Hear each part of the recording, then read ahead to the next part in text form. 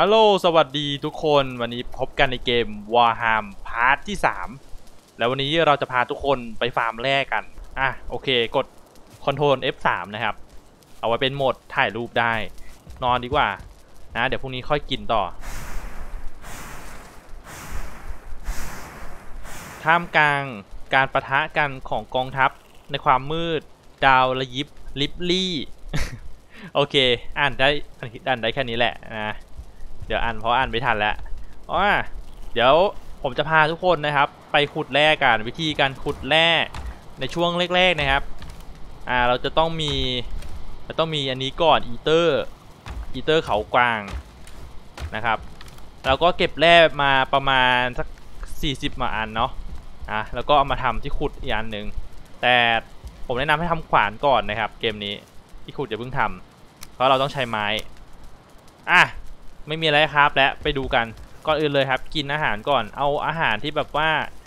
กินง่าย ๆก่อน แล้วก็มีอาหารกินอยู่แค่นี้แหละครับ นี่นี่ครับ กินอาหารที่เพิ่มสตามิน่าเยอะๆเรามีทานเพียบเลย เดี๋ยวเราจะเปลี่ยนไอเตาอันนี้นะครับ ให้เป็นเตาเราต้องเผาอะดีบุกทิ้งไว้ครับ วิธีการเผาก็เอามาสิบอันพอนะ เพราะว่าเตาหนึ่งมันได้แค่สิบอันไปก็วางใหม่เลย ระหว่างที่รอดีบุกอันนี้มีค่ามาก อืมเผาซะครับ แล้วก็มีน้องกามาคุยกับเรา โอเค ก็มีฐาน ใช่ มีฐานแล้ว นี่ไง 20 อัน เอามีแค่14 อัน ได้เวลาก็ไปฟาร์มกันดีกว่า ซึ่งตอนนี้ เอาใช้ไปแล้ว นี่ครับ ได้แร่มาแล้วอันหนึ่งอ่า ดีบุกครับ ดีบุกมันหนักนะครับ เอาไปเก็บในบ้านก่อน โอเคได้เวลาแล้วไปเลยครับ ทุกคนไม่ต้องแปลกใจนะครับ เพราะว่าทำไมผมทำทางเอาไว้ ผมทำเอาไว้รอรถเข็นนะครับ ถ้ามีรถเข็นก็จะเข็นกลับมาบ้านเลย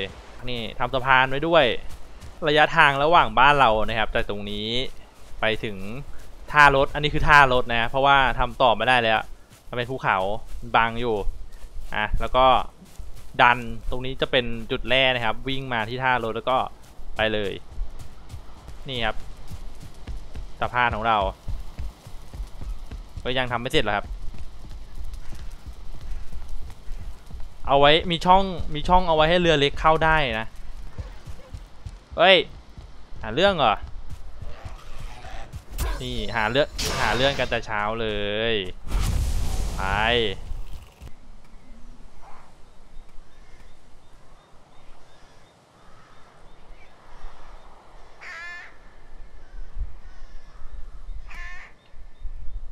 โอเค ตอนนี้ผมปรับภาพเป็นระดับ performance นะครับ ให้ภาพมันลื่นขึ้น รู้สึกว่าปรับไฮสูงหมดทุกอย่างแล้วเฟรมเรทตกยับเลยนะอ่า ตอนนี้ก็วิ่งมาถึงจุดท่ารถแล้วผมทำไว้แค่นี้เองนี่ทำไม่หมดนะครับ ตรงนี้มันเป็นตันเห็นไหม มันขึ้นลำบากนะ เดี๋ยวเราวิ่งไปที่ เอ้ยเอ้ยเอ้ยเอ้ยกวาง กวาง ว่าไงหมูอยากโดนใช่ไหมเฮ้ย ฮ้ยจิ้งเหลนมาทำไม เอ้าหมู หมูก็มา เอ้าแทงปลาไหลไม่ใช่ แทงกิ้งก่าไม่โดน แทงกิ้งเอ้าไม่โดนอีกแล้วโหโคตรวึดเลย เออตะขี่ได้มันไป part ที่แล้วเราได้หนัง Troll มานะผมก็เอาหนัง Troll ไปทำหมวกเรียบร้อยนะครับ หมวกเสียมเงิน หมวกสเมิร์อะ หวังว่าผมจะเจอโทยสักตัวนะครับ จะได้เอามาทำเสื้อผ้าต่อ แต่ภารกิจหลักของเราก็คือขุดแร่อันนี้นะครับ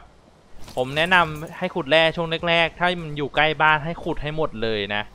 ไม่ต้องเว้นเอาไว้ แต่ถ้าแบบว่าอยู่เจอไกลๆบ้านก็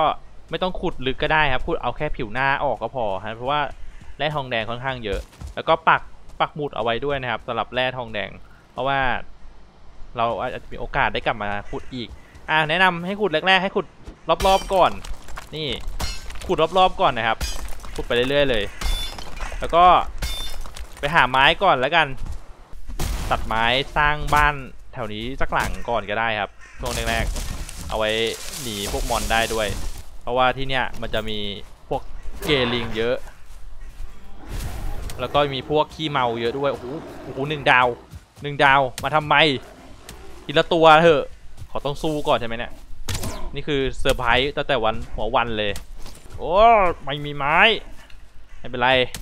ไปหาหาตัดก่อน ให้เราสร้างกองไฟสักกองหนึ่งนะ มีปะวะมาหินไม่พอ ไม่เป็นไร เปิดบัฟเลยแล้วกัน ตอนนี้ผมอัพไอดีมาแล้ว น่าจะตีพวกนี้ได้สบายอยู่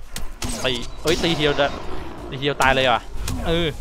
โอ้ยโอ้ยโอ้ยหลบก่อนหลบก่อนไม่ได้เอาโล่มาด้วย ไม่ได้สร้างโล่เลยคราวที่แล้วก็ลืมสร้างโล่โอ้ยไม่ได้กันเลย มึงอย่าพุ่งกับคุณวะเออ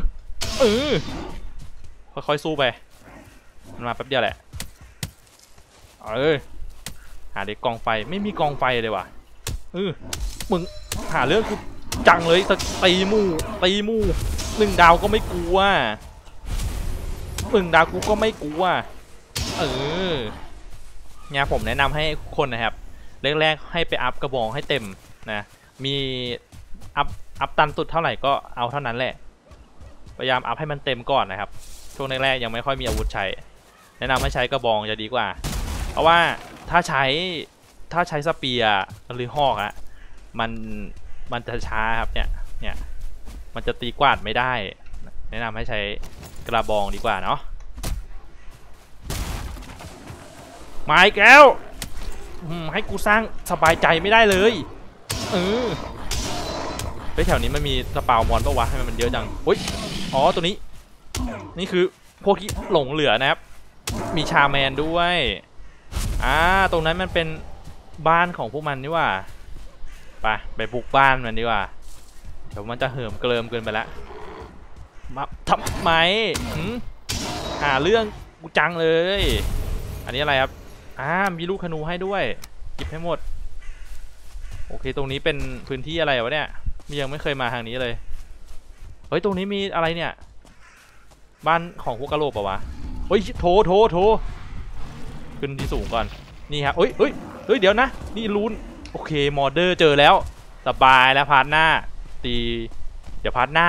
ต้องไปแล้วแหละนะ เจอพอดีเลยแหละเฮ้ยข้างในมันมีตัวกระลุมีตัวทุบอะข้างนอกก็มีตัวทุบ เอาไงดีวะเนี่ย ได้แค่จุกอย่างเดียวไม่เป็นไรเดี๋ยวผมใช้นี่ครับธนูโอ้ยช่วยตัดไม้ให้หน่อยนะตัดไม้หน่อยลูกพี่ตัดไม้ผมหน่อย เร็ว ตัดดิเฮ้ยเฮ้ยจะปึ๊ดจะเออตัดไม้ขอบคุณครับ โอ้ยไม่เจ็บหรอกครับไม่โดนเลยอะไรครับเนี่ยเออไม่โดนเลย อันนี้ผมไม่โดนเอง มาดิมาดิเอาหนึ่งหนึ่งกับโทปะล่ะเอออ่ามาอยากได้เสื้อผ้าใหม่พอดี นี่ตัดต้นนี้ให้หน่อยตัดต้นนี้ให้หน่อยเอาต้นเนี้ยเอาต้นขาวเนี่ยได้ไหมขอหน่อยครับนี่ครับวิธีการหลบโทนะ ดูนะครับรอมันตีก่อนถ้ามันง้างปุ๊บ ถ้างางปุ๊บมันไม่ยอมตีว่ะเฮ้ย ไม่ยอมตีว่ะ มันรอเราพลาดเนี้ยบปุ๊บนี่ เวลามันงางก็คลิกขวา เออ คลิกขวาแล้วสเปซบาร์นะครับ คลิกขวาค้างสเปซบาร์เฮ้ยตัวนี้ไม่เกี่ยวตัวนี้ไม่เกี่ยวเฮ้ยอุ้ยอุ้ยอุ้ยตัดไม้หน่อยครับ ตัดไม้หน่อยครับพี่ พี่ใหญ่ อ๋อ นี่ไง โอเค น้องใช้หิดตัดไม้ให้นะครับ เออเฮ้ย ตัวนี้ไม่เกี่ยว ม่เกียวโอ้ยมาโอ้ชิบหายสองดาว เออยอมยอม ไม่เอา ยอมแล้ว สวยแล้ว มาเป็นร้อย มาเป็นร้อยกูจะได้ขุดแร่ไว้ไหนวะเนี่ยโอ้ยตรงนี้มันไม่ได้อารยธรรมอารยธรรมของข้าอุ้ยเหลือยี่หกวิสุดท้ายข่าวชิบหายจะมาเยือนเฮ้ยเอาตัวนี้ก่อนน้ำคาญเดินไวแท้ เราต้องต้องใส่ต้องสู้แล้วแหละ คือตอนเนี้ยโทรไม่กลัวเท่าไหร่กลัวกิกกี้อย่างเดียวแหละ มันมันเดินไวกว่าโทรไง แล้วมันตามมันตามไม่เลิกด้วย อะ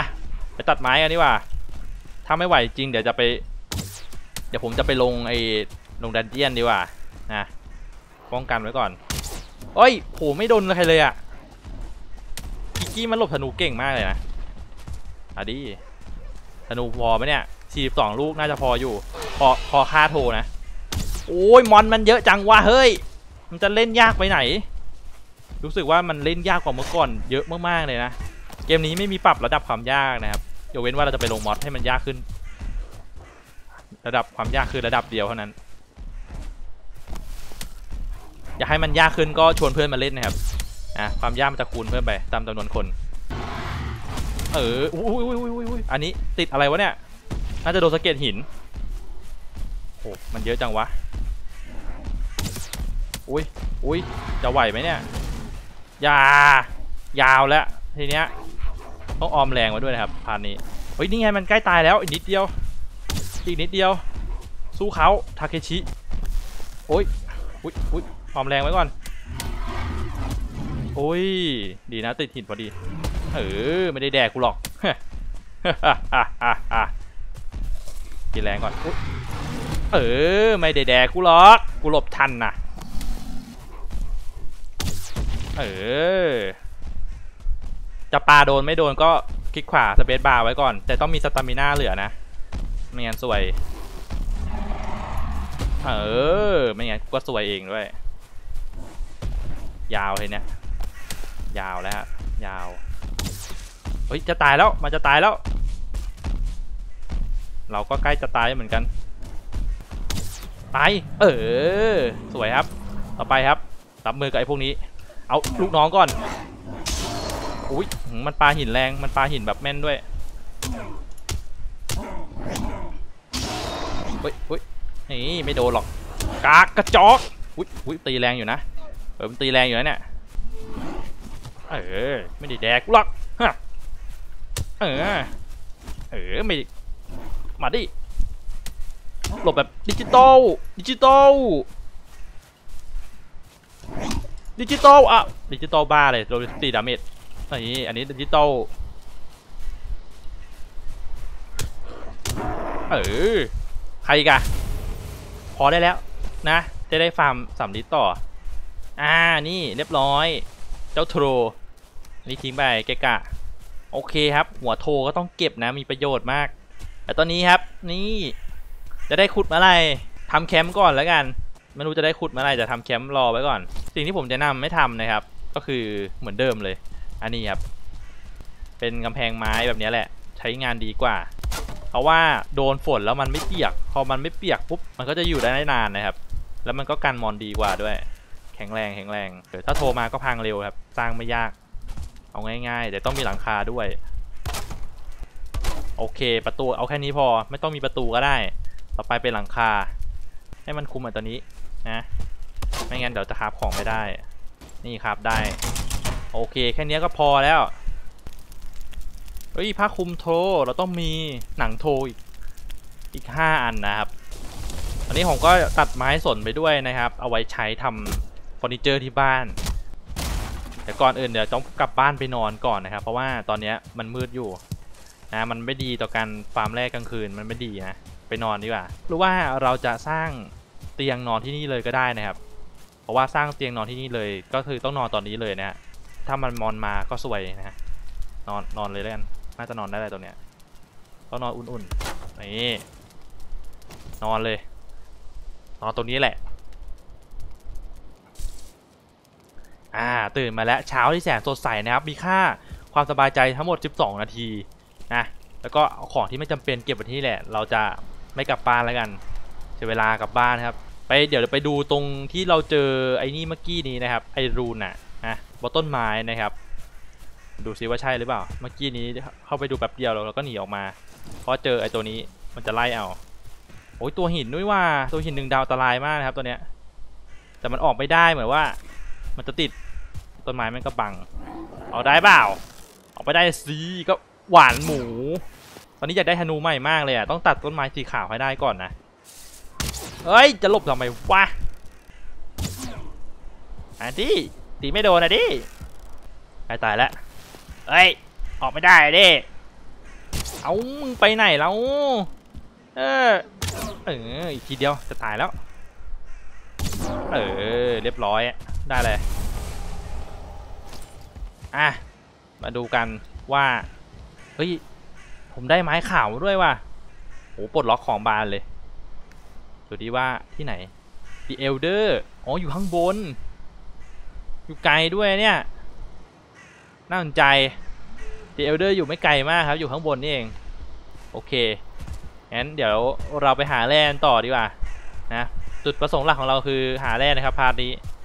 แร่คือทุกสิ่งทุกอย่างของเกมนี้ หาแร่แล้วก็บวกกับโทด้วยสักตัวสองตัว อ่านี่เราสร้างรั้วได้ครับรั้วปิดเอาเป็นรั้วเอาไว้กันมอนเข้านี่แค่นี้ก็กันมอนเข้าได้แล้ว ไม่ต้องสร้างบ้านให้มันเปลืองไม้โอเค ได้เวลาขุดต่อนะครับ จริงๆเรามีแค่อันนี้อันเดียวก็พอนะนี่ครับวิธีการขุดแร่แนะนำให้ขุดรอบๆรอบๆก่อน แบบนี้เลย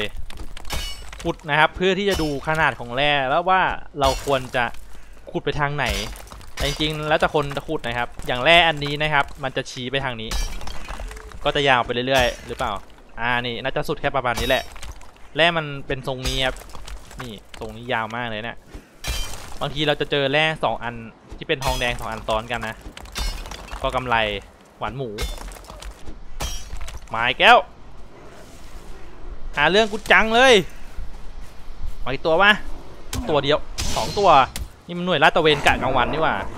กะโอ้ยสามตัวว่ะ มาดิ up up skill หน่อยให้ up skill หน่อยไม้ตัว เออ มึง ไอ้แก๊งปลาหินนี่ว่ะ ไอ้พวกแก๊งปลาหินนี่มันน่าตีจริงๆเลยไม่จุดเกิดมันก็ไม่มี มันมาบ่อยจังวะหืมหาบ่อยจัง หาเรื่อง ไป นี่ครับวิธีการขุด ถ้าเราขุดให้มันลึกที่สุดก่อนนะแล้วค่อยค่อยๆแซะหินแซะดินไปเรื่อยๆนะ มันจะทำให้หน้าดินลงไปยุบยุบได้เร็วขึ้นนะ ถ้าเราขุดจากด้านบนลงมาด้านล่าง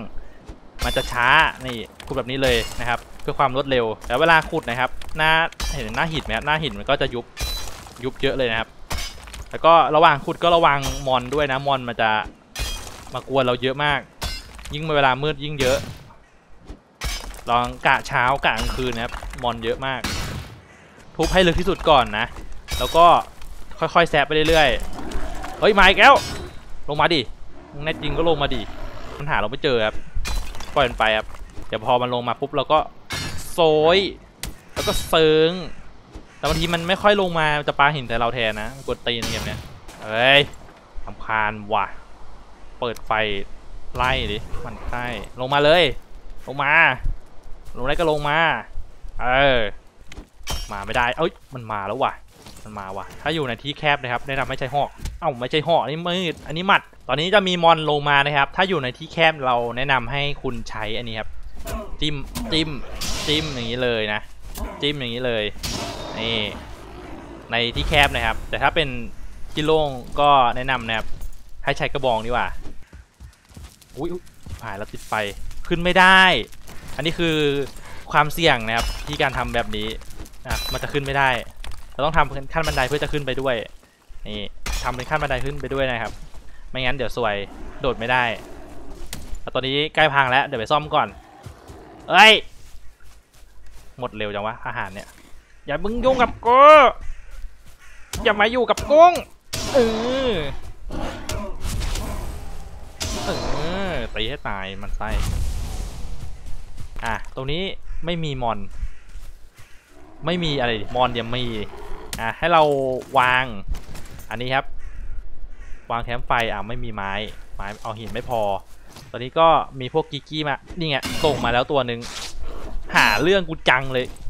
แทงแม่งเลยเออนี่ครับเราก็ขุดลงไปเรื่อยๆนะครับ จริงๆแร่อันเนี้ยมันลึกกว่านี้นะดูจากอันนี้แล้วอันนี้น่าจะเป็นสุดแล้วนะครับ น่าจะขุดได้อีกหน่อยหนึ่งถ้าเราขุดลึกเกินมันจะเป็นชันน้ำแล้วแต่ตัวนี้เหมือนว่า มันจะไม่ให้เราขุดแล้วนะครับน่าจะสุดแค่นี้แหละ หาเรื่องกูจังเลยข้างบนน่ะ นี่ครับ วิธีการขุดแร่นะครับ เราก็เหลือข้างล่างไว้หน่อยหนึ่งนะ แล้วก็มีตรงผนังด้านหนึ่งหรือว่าอย่างนี้ก็ได้ แล้วขุดก็มองงี้ครับ แล้วก็ขุดลงมา อ่า มันก็จะได้ทั้งข้างล่างแล้วก็ด้านบนแบบนี้ครับ ก็ประหยัดแรงด้วย นี่ ตอนนี้ก็เริ่มมืดแล้วนะครับ ถ้าเริ่มมืดนะครับ แนะนำให้ทุกคนกลับขึ้นไปข้างบนได้เลย แล้วก็ไปเคลียร์มอนให้เรียบร้อยก่อน แล้วก็นอนอขอเคลียร์ให้เรียบร้อยก่อนตอนนี้มาเยอะใช่ไหมมามาทำไหมหาเรื่องกูจังเลยเออเออตายซะไอ้พวกเวนอ่าตอนนี้มันเริ่มมืดแล้วนะครับ แนะนำให้ทุกคนไปนอนนะ ไม่ต้องไม่ต้องงกมากนอนไปเลย กลางคืนไม่ดีต่อการเล่นแรกๆนะครับ เก็บกลางคืนเอาไว้เล่นตอนที่เวลสูงๆดีกว่า เพราะว่าตอนนี้เราอยู่ในป่าป่าดำนะป่าดำมันอันตรายตรงที่ไอ้พวกนี้มันมาทีมาเยอะมาก โอเคพอเช้านะครับ เราก็จะได้ค่าสบายใจมาอีก 5 นะ เพราะว่าเราสร้างพวกของพวกนี้นะ ถ้าเรามีหนังกวางด้วยมันก็จะเพิ่มเป็น 6 แต่ตอนนี้เราไม่ได้ล่ากวางเลย ก็มาเพิ่มความร้อนในตัวนะเพราะว่าจะได้อุ่นๆหน่อยอุ่นร่างกายอะไรเงี้ย เออ ตอนนี้ก็เหมือนจะขุดด้านบนแตกแล้วนะครับ เดี๋ยวเราลงขุดไปให้มันสูงๆขึ้นไปข้างบนได้ เนี่ย ก็โอ้โหมาเพียบเลยอ่าไม่กันเยอะแยะเฮ้ยลงมาเดอุ้ยหนึ่งดาวอะ เอามึงก่อนเลย มึงก่อนเลย อืมโอ้ยโอ้สองตัวนี่ว่ะ เฮ้ยอย่ามาเยอะดิวะขี้โกงขี้โกงนี่ว่ะ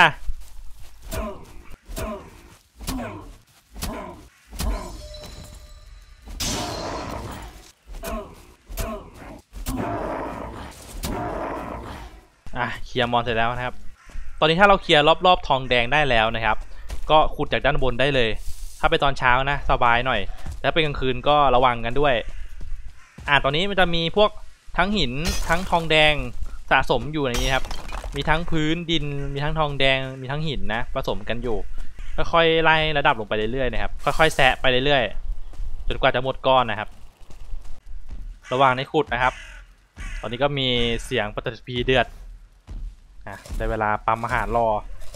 มาแล้ว มาแล้วครับ มาแล้วครับ ตอนนี้ครับ ตอนนี้ เฮ้ย พังบานกู ไม่อย่ามานี่มาสู้กันแบบลูกผู้ชาย มา วันนี้เราจะได้เจอดีกันเฮ้ยเฮ้ยมันมีอุ้ยอุ้ยมันมีมันมีกระบองว่ะ กระบองนี่คืออันตรายนะครับนะระวังให้ดีตีโคตรไก่แนะนำให้รักษาระยะห่างให้มากๆขอใช้บัฟหน่อยนะยึดพลังหน่อยนะกวางมาดิมาดิหรือจะหลบได้ป่ะหลบได้ป่ะตีดิ อ่าตีอายืนให้ดีโอ้ยอุ้ยอุ้ยอุ้ยหลบไม่ได้ หลบไม่ได้ครับทุกคนระวังนะ อันนี้คือหลบไม่ได้นะครับ มันไม่เหมือนตัวที่ปลาหินปลาหินนี่คือหลบได้ แต่นี้คืออันตรายมากไหวแล้วกูไปแล้วอ่าไม่น่าซ่าเลย อันนี้คือผมพูดอยู่ดีๆมันก็มาโผล่มาหาเฉยเลยไม่หาเรื่องเลยสงสัยอยากเอาหนังมาให้หนังฟ้าเฮ้ยเอ้ยเอ้ยเอ้ยไม่ได้ต้องรักษาระยะห่างตัวเนี้ยอันตรายมากอ่าครึ่ง จะครึ่งหลอดแล้วจะครึ่งหลอดแล้ว จะหลอกให้มันตีก็อันตรายมากนะครับ โทที่มันมีกระบองเนี่ยเฮ้ยเอาเอาเอาเอาเอางงงงไปไม่ถูกแล้วไปไม่ถูกจะไปทางไหนดีเอาหันหลังเฮ้ยมึงนี่มันรับแทน ไปไหนแล้ววะเฮ้ยกลับมาก่อนไปไหนแล้วอ้าวอ๋ออยู่นู่นอยู่นู่นอยู่นู่นไปนู่นแล้วครับเหมือนจะลืมเราแล้ว ถ้าโทรลืมเรานะ ผมแนะนำเลยให้ให้ตามไปยิงมันนะอุ้ยมันตามว่ะเฮ้ยมันกลับมาว่ะเฮ้ยมันกลับมาว่ะเฮ้ยอย่าไปอย่าให้มันหลุดครับ มันจะตายแล้วอย่าให้มันหลุดต้องสู้ต่อไป ไม่ว่าศัตรูมันจะมาเยอะแค่ไหน อย่าไปกลัวอันนี้เราต้องได้ชุดสีฟ้ามาใส่ เออตีไม่โดนหรอก กระจอกของก้อย ลูกพี่อวตาร เออ ชาวนาวี โยกหลบสบายสบายถ้าระยะใกล้อะนะจะตายแล้วอีกนิดเดียว เออ ไม่โดนแล้วครับ ตายแล้ว โอเค สวยครับอุ้ยเอาสตันดิเอาสตันดิ เออ อันนี้ ตอนนี้เก่งสุดในป่าแล้ว เออเก่งสุดในป่าแล้ว กว่าจะเคลียร์อ่า ตอนนี้ผมก็สามารถทำอันนี้ได้แล้วครับ ไอ้ผ้าคลุมโทร ต้องกลับไปเอากระดูกที่บ้านก่อน โอ้โห มันทุบแคมป์ไฟผมพังหมดเลยว่ะ เอาเรื่องอะเนี่ย ตอนนี้ก็มีแร่ทองแดงทั้งหมด 15 ก้อนนะครับ เดี๋ยวจะเก็บอีกสักหน่อยหนึ่งนะ เพราะว่าเดี๋ยวเราจะต้องเอาทองแดงไปเผาแล้วก็ สร้างอุปกรณ์ที่แบบว่ามันใช้งานได้ได้ดีกว่าไออีเตอร์กวางนะฮะมันไม่ค่อยดีเท่าไหร่มันช้า เดี๋ยวขุดอีกสักนิดนึงเราจะไปที่บ้านกัน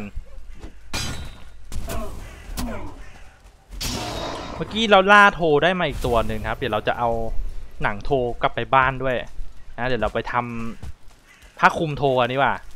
จะได้มีเกาะเพิ่มขึ้นนะครับอ่าโอเค ได้ประมาณนี้แหละอ่าเดี๋ยวกลับบ้านก่อนแล้วกัน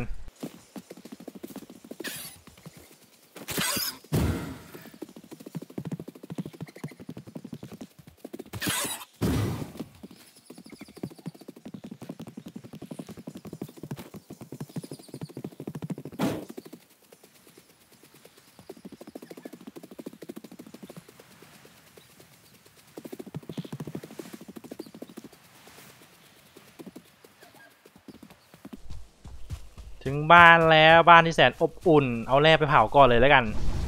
นี่ตัวนี้เราก็ได้แร่ทองแดง ไม่ใช่แร่ดีบุกนะครับ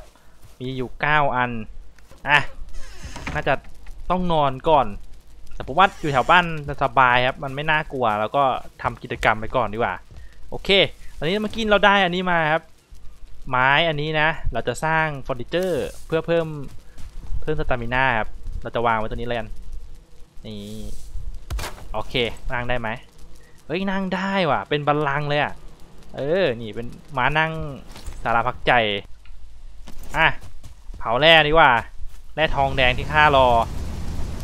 เดี๋ยวเผาไว้แล้วก็ไปนอนนะครับ จะได้ตื่นเช้ามาจะได้มีแร่ใช้ นอนดีกว่า ไปละหลับปุ๋ย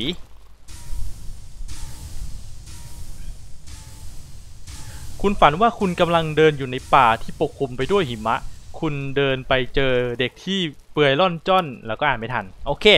ตื่นมาครับอะเมื่อกี้ผมเพิ่งนึกได้ผมว่าผมได้หนังโทรมา 10 อันนะ แล้วก็เอากระดูกมาทำสิ่งนี้ครับไหนวะผ้าคลุมโทร นี่จะทำชุดก่อนก็ได้นะ ชุดละ 5 อัน แต่ผมว่าผมทำผ้าคลุมดีกว่า ตอนนี้ผ้าคลุมเทกว่า เน้นเท่ไม่เน้นไม่เน้นเกาะเน้นเท่ไอ้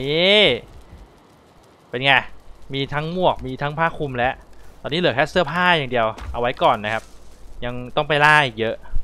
คราฟของกันดีกว่า เอาถ่านไปด้วยต้องใช้ นี่ครับ ได้ทองแดงมาแล้ว เหลือสร้างของใหม่มีอะไรมั่ง นี่ไง โต๊ะอันนี้ที่เราต้องทำนะครับ โต๊ะงานเหล็ก ซึ่งเราต้องมีทองแดง อ่า ตอนนี้ เราสร้างสำลิดได้แล้วมีอะไรให้ทำบ้างตอนนี้ ยังไม่ทำหม้อไม่ได้คืออยากทำอาหารมากเลย เพราะว่ารู้สึกว่าอาหารมันหมดเร็วนะครับอะงั้นเราทำสำลิดก่อนแล้วกัน มีแร่เนื้อเอาไว้ฆ่าสัตว์ที่เราเทมนะครับ โอเค ตอนนี้ปลดล็อกของสำลิดแล้วนะครับ แล้วก็เราจะสามารถสร้างของที่เอาไว้เพิ่มเลเวลตัวคราฟ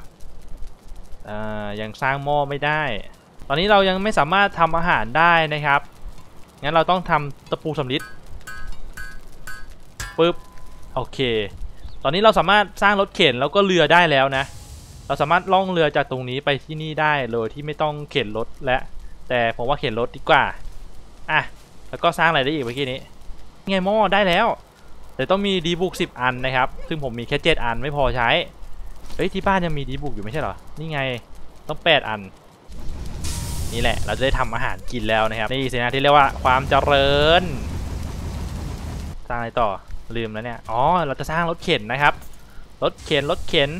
สร้างรถเข็นได้แล้วนะครับ นี่รถเข็นแบบดิบๆเดี๋ยวจะไปเข็นแร่กันนะครับ แต่ก่อนอื่นเลยขอทำโต๊ะอาหารก่อน แล้วก็ขอทิ้งน้องรถเข็นไว้ตรงนี้ก่อนนะครับในเวลาทำอาหาร มาแล้วครับหม้อทำอาหารอือดูสิ ช้งานได้ไหม ได้สูตรอาหารใหม่มาเป็นเนื้อหมูอบแห้งที่เราทำได้เลยตอนนี้ เวลากินก็จะเพิ่มสุขภาพ 23 นะครับ พละกำลัง 23อ่านี่ค่อนข้างดีครับ มี 30 นาที เฮ้ย แจ่ม แล้วก็มีพวกอาหารแยมผลไม้ อันนี้ดีครับ สุขภาพ 14 พละกำลัง 40 นี่ แยม 1 อัน แยม 2 อัน โอเคทำแยมได้แค่ 8กระปุกอันนี้ถือว่าดีแล้ว8กระปุก เราจะทำอันนี้ครับเนื้อหมูอบแห้ง ของดี นี่คือเขาเรียกว่าหนึ่งตำบลหนึ่งผลิตภัณฑ์ โอเคครับน้ำผึ้งหมดพอดีเลยน้ำผึ้งที่เรานี่ครับได้อันนึงอ่าน้ำผึ้งที่เราเลี้ยงเอาไว้ ได้ใช้ประโยชน์วิธีการกินนะครับ ให้เราดูที่ช้อนส้อมนะถ้าเป็นช้อนส้อมสีเหลืองจะเพิ่ม stamina ช้อนส้อมสีเงินนะครับ จะเพิ่มทั้ง stamina แล้วก็ HP พร้อมๆกันนะครับ เท่ากัน อ่าถ้าเป็นซ่อมสีแดงจะเพิ่มแต่ HP นะครับสตามิน่าเพิ่มน้อยมาก โอ้ยร้อน ร้อนว้ายน้ำอะไม่ต้องแล้ว ตอนนี้เรายังไม่สามารถที่จะคราฟอะไรได้เลย เพราะว่าสำลิดเรายังน้อยอยู่นะ เดี๋ยวเราจะไปฟาร์มกันดีกว่า ตอนนี้เรามีรถเข็นแล้วอะรถเข็นคันนั้นของเรานะครับ แล้วก็สามารถสร้างเรือได้ด้วย แต่ตอนนี้เราต้องเก็บสำลิดก่อนเพื่อที่จะไปคราฟขวาน เตรียมอุปกรณ์ให้พร้อม ก่อนที่จะไปผจญภัยต่อ โอเคครับ น้ำพร้อมอาหารพร้อม ไปลุยต่อ อีกสักนิดหนึ่งนะครับ ระหว่างเก็บแร่ตอนนี้เรายังนำเสนออันนี้มากนะครับรถเข็นแห่งอนาคต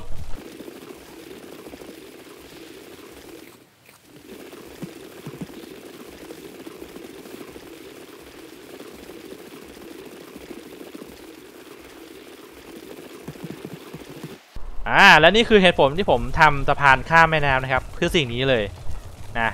เอาไว้ขนเกวียนกลับบ้านขนแร่พันเกวียนกลับบ้านได้นะครับ สบายสบายแล้วก็มีอีกสะพานหนึ่งสะพานนี้ก็ยังสร้างไม่เสร็จนะ ว่าจะทำหลังคาด้วยแต่กลัวน้ำหนักจะรับเอ่อจะรับน้ำหนักตรงหลังคาไม่ไหว ก็เลยทำแค่ทางไว้ก่อน โอเคครับถึงแล้วบคสองเราเราจะจอดรถไว้ตรงนี้นะครับ กันมอนตบรถพัง ตอนนี้เราก็ขุดมาประมาณกี่เปอร์เซ็นต์แล้วเนี่ย ประมาณ 20%นะครับ ยังมีอีกเยอะเลยให้ขุดค่อยๆขุดไปเรื่อยๆแล้วกัน แร่นี้ค่อนข้างที่จะลึกนะครับ ตอนนี้ก็คือขุดไม่ถึงข้างล่างเลย ขุดไม่ถึงชั้นน้ำก็ตันแล้วครับ ตอนนี้เป็นพื้นแข็งแล้วไม่สามารถขุดได้อ่าตอนนี้ขุดแร่จนกลายเป็นแร่ลอยฟ้าไปแล้วนะครับ ก็เวลาขุดก็จะอันตรายนิดนึงนะ ราะว่าถ้าขุดตรงพื้นที่เรายืน แล้วขุดลงไปเราก็จะตกข้างล่างนะครับ อาจจะเป็นอันตรายต่อข้อเท้าเราได้ งั้นเดี๋ยวเราเอาแร่ที่เก็บได้วันนี้เอาไปส่งบ้านก่อนดีกว่า ตอนนี้ค่อนข้างที่จะมีของเยอะแล้วนะครับ ใส่ดูนะครับว่าได้กี่โลแล้วนะมีทั้งหินมีทั้งไม้ที่เก็บไปด้วยเดี๋ยวเอาหินกลับบ้านนะครับ เอาไว้ใช้คาบนู่นคาบนี่เยอะได้เยอะเลยอะนี่กดลงไปเลยก็ประมาณพันสามโลแล้วเอาหัวกลับบ้านด้วย เดี๋ยวไปแปะหน้าบ้านนะครับ อ้าวโอเคไปสามร้อยพอดี งั้นเดี๋ยวเราเข็นของกลับบ้านกันดีกว่าครับ รถเข็นรอแล้ว ตอนนี้ถ้ารถเตรียมออกสตาร์ทบัฟบอสกวางไปด้วย อ่า แล้วก็ไปอยู่ตรงนี้ โอเค ไป กลับบ้านกันดีกว่า เข็นของประมาณพันสามร้อยโลนะครับ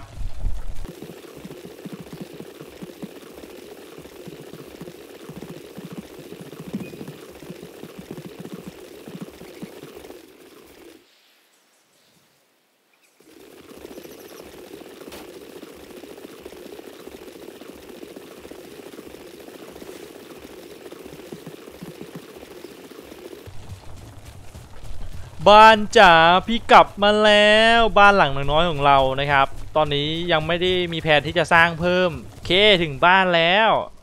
อะเวลาออกก็อย่างนี้เลยรถเข็นก็ดันไปให้เข้าที่ แล้วก็เก็บของก่อนของแน่นมาก อันนี้ก็กวนกูจังเลยตั้งแต่ต้นคลิปยันจบคลิป part นี้ก็ขอจบไปเพียงเท่านี้นะครับสำหรับการหาแร่แล้วก็การสู้กับ Troll นะวันนี้สู้กับ Troll ไปต้องสองตัว เป็นไงกันบ้างครับงั้นก็ขอบคุณทุกคนที่รับชมนะครับ ฝากกดไลค์นะครับ กด subscribe ให้กันด้วยเอาไว้เจอกัน part หน้าครับ สวัสดีครับ บ๊ายบาย บ๊ายบายครับ